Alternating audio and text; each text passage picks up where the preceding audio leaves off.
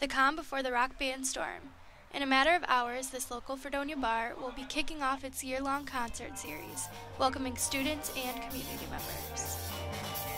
Well, I love just getting to bring our music to smaller places or places that might get overlooked normally, like things that aren't like the A markets. Like we're based in Toronto, but that's such like a tough market to play because you can see anyone there. Uh, it's really cool getting to have like more of like a small town experience, and uh, for college students especially, like it is so difficult to leave the house. I'm so honored when anyone leaves the house for us. It's it's really really nice of them. BJ's shows are a great way to step outside from your workload and hang out with your peers. Supporting visiting artists as they work towards their dreams while we also work towards ours is both rewarding and fun in this atmosphere.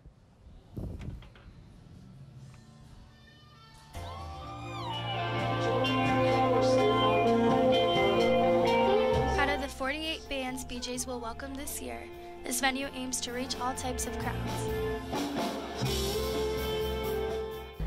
I just wish we could get more people come in, more people seeing what we're actually doing. We're down at the end of the street, but I just wish more people would come in and see, hey man, we got a really cool thing going on here. So go on down, check it out, and you'll be happy when you leave.